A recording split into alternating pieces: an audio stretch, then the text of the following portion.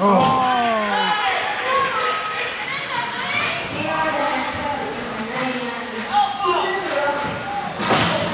And why don't I have you way over here?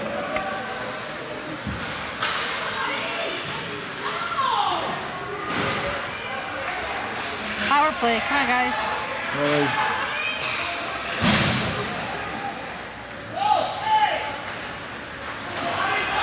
Get it, Nathan.